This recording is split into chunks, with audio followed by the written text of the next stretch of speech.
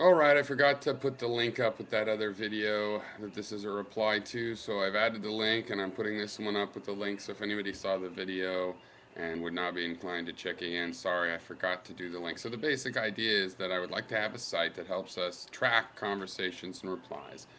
We'd be able to vote on each video or comment in the conversation. We'd be able to fact check it, annotate it in various ways.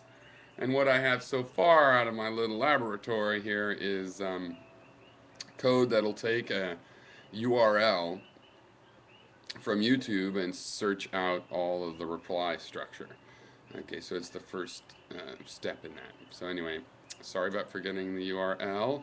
I did that and then I went and did some other things and I remembered, oh my god, I didn't do that. So several hours. And um, yeah, I figured a new video would be the easiest way for people to, to um, I don't know, to survive my mistake. Alright, bye.